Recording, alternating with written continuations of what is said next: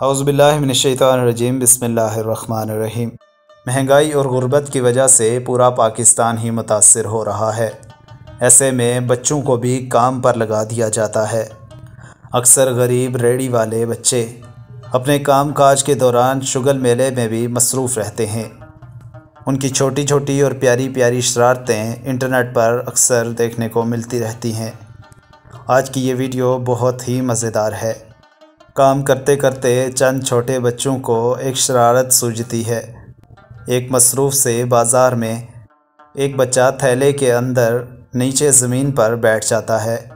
ایسے لگتا ہے جیسے تھیلا کسی چیز سے بھرا ہوا ہے۔ جبکہ دوسرا بچہ کسی سے ریکویسٹ کرتا ہے کہ مجھے ذرا یہ تھیلا اٹھا دیں۔ جب بندہ اس کو ہاتھ ڈالتا ہے تو فوراً سے تھیلے میں موجود بچہ اٹھ کھڑا ہوتا ہے۔